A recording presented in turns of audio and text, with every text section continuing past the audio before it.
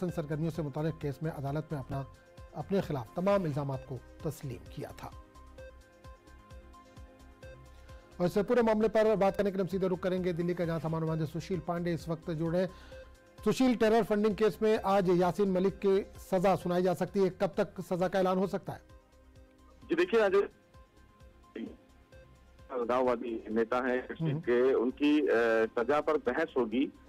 सजा पर बहस के बाद कोर्ट अपना फैसला सुनाएगा क्योंकि इस पूरे मामले में फ़िलहाल पटियाला हाउस कोर्ट की जो अढ़ाई स्पेशल कोर्ट है उस कोर्ट में याशिन मलिक ने अपने आप को दोषी माना था उन्होंने कहा था जो भी तमाम टेरर फंडिंग को लेकर उनके ऊपर आरोप लगाए गए हैं चाहे वो यूपीए हो चाहे वो एक सौ हो चाहे टेरर फंडिंग को लेकर मनी लॉन्ड्रिंग का मामला हो वो तमाम गलतियों को स्वीकार करते हैं। हालाँकि इस पूरे मामले में पिछली सुनवाई के दौरान एनआईए कोर्ट ने आदेश दिया था कि जो प्रॉपर्टी है फ़िलहाल इस मामले में यासिन मलिक की उस प्रॉपर्टी की भी जानकारी उन्हें मुहैया कराई जाए। तो संभवतः आज उनकी प्रॉपर्टी से संबंधित जानकारी एनआईए कोर्ट को दी जाएगी।